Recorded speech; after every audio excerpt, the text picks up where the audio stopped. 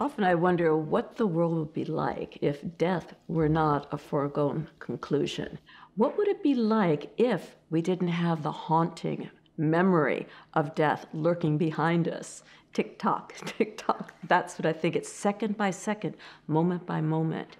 We don't know what's going to happen tomorrow. We don't know what's going to happen next year. But what if we could remove that? How freeing would that be for people?